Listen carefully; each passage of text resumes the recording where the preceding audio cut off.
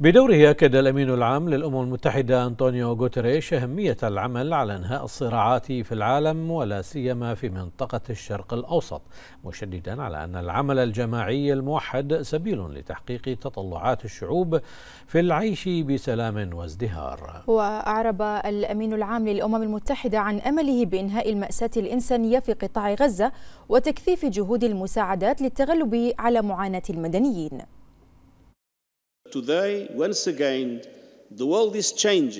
العالم اليوم يشهد تغييرا جديدا. نرى الكثير من الفرص في الطريق. المنطقة العربية لديها الكثير من الموارد والثقافة والشعوب المؤهلة. هناك عامل أساسي للنجاح وهو التوحد في هذا العالم. التاريخ أثبت أن التدخلات الخارجية والفروقات فيما بيننا تفاقم أمد الصراعات والإرهاب. وهذه عوائق كبيرة أمام السلام العالمي. كما إنها تعيق تحقيق تطلعات شعوبكم.